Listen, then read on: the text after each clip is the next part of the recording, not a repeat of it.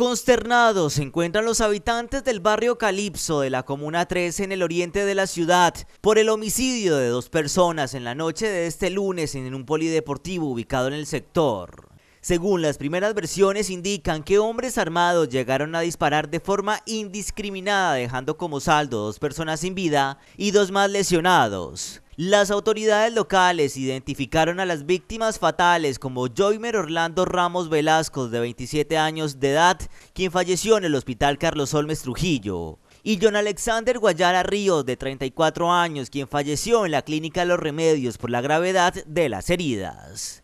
El hecho se presentó sobre la calle 72 F4 con carrera 28 D3 y las autoridades investigan los móviles de este doble asesinato.